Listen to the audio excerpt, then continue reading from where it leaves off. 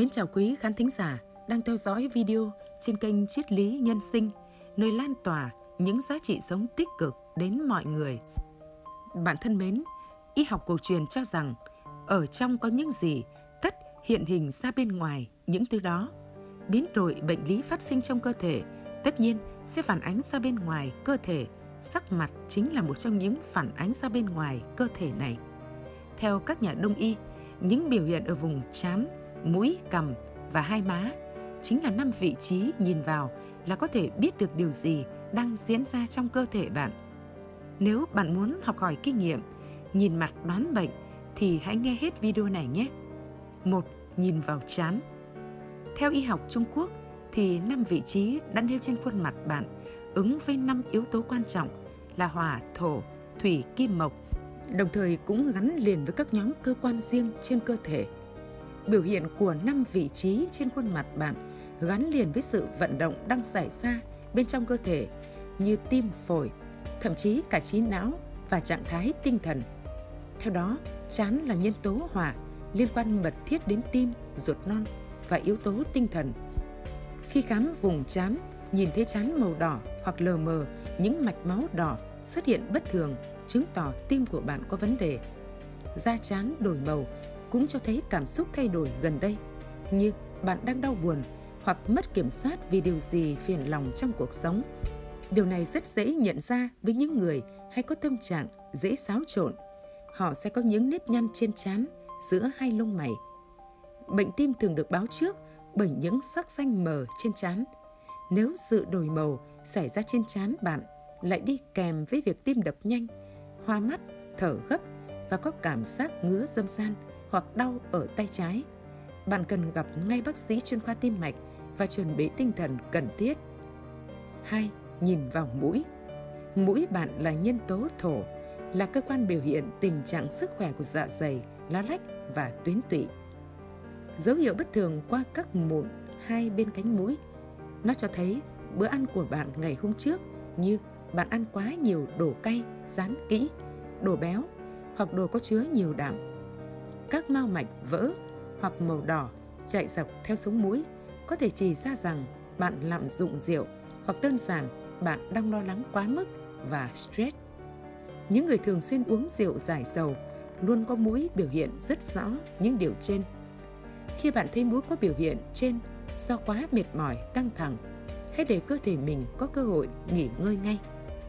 3. Nhìn vào cằm Cằm là nhân tố thủy liên quan đến thận và bàng quang, bao gồm cả hệ thống hormone và các tuyến trên cơ thể. Da quanh cằm và miệng có những mảng tối màu chỉ ra vấn đề về thận và bàng quang.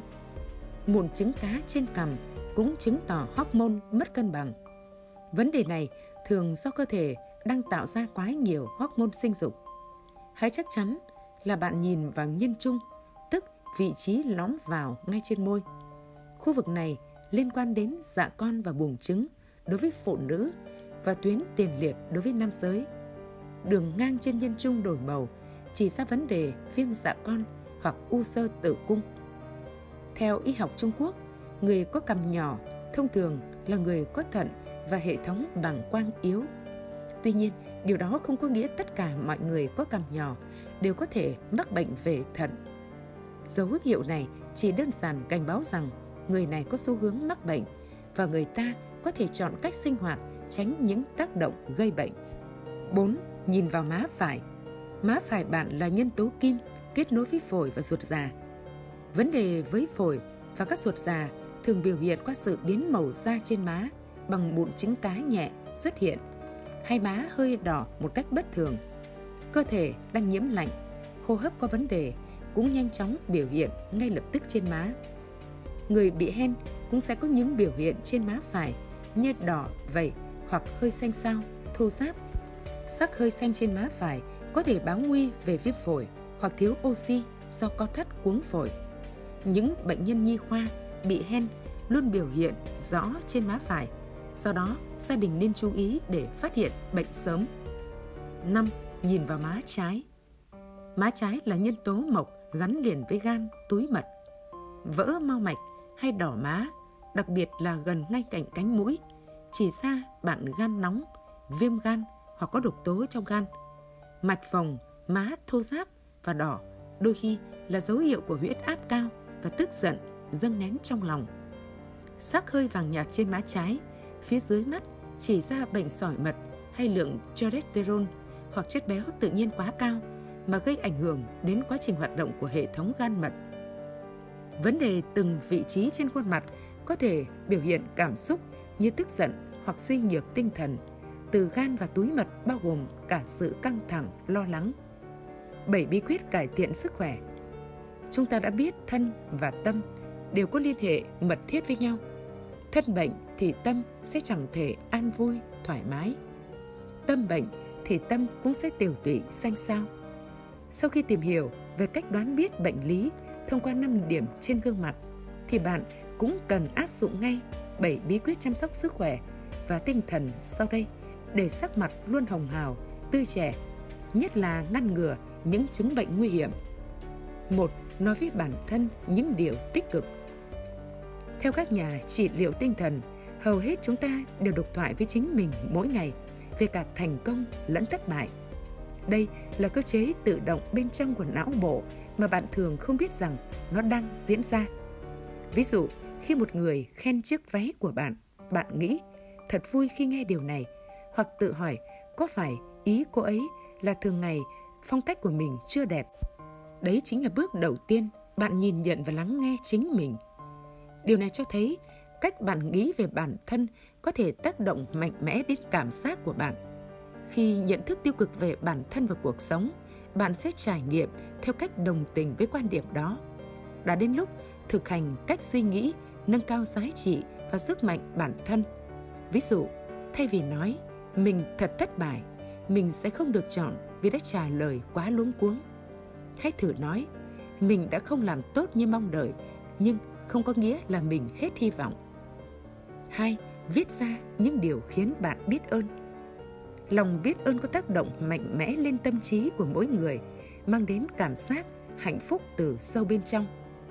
Phương pháp viết về hành trình biết ơn hoặc viết nhật ký biết ơn mỗi ngày được xem là có thể tăng cảm xúc tích cực.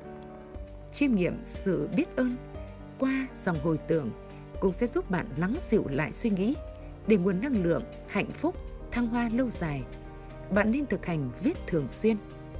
3. Luyện tập thể thao Cơ thể sẽ giải phóng hormone endorphin, giảm căng thẳng và đánh thức tâm trí sau các bài thể dục. Đây là lý do luyện tập luôn được thường xuyên nhắc đến, được xem là liều thuốc mạnh mẽ giúp đẩy lùi căng thẳng, lo lắng và trầm cảm. Bạn có thể thực hành các bài tập nhỏ ngay trong sinh hoạt thường ngày, đi thang bộ thay vì thang máy hoặc đi dạo ở công viên mỗi tối. Không những thế, việc dọn dẹp nhà cửa cũng là một hình thức luyện tập vô cùng hiệu quả, giúp bạn gia tăng chỉ số vận động nữa đấy. Để cảm nhận lợi ích tối ưu, bạn nên đặt mục tiêu luyện tập ít nhất 30 phút mỗi ngày và cố gắng thực hiện ngoài trời nếu có thể. Tiếp xúc với ánh nắng mặt trời, cơ thể sẽ sản xuất vitamin D, đồng thời tăng hormone serotonin trong não bộ, giúp tăng cảm giác hạnh phúc. Thêm vào đó, việc dành thời gian gần gũi với thiên nhiên khi hoạt động ngoài trời cũng được chứng minh giúp giảm căng thẳng hữu hiệu.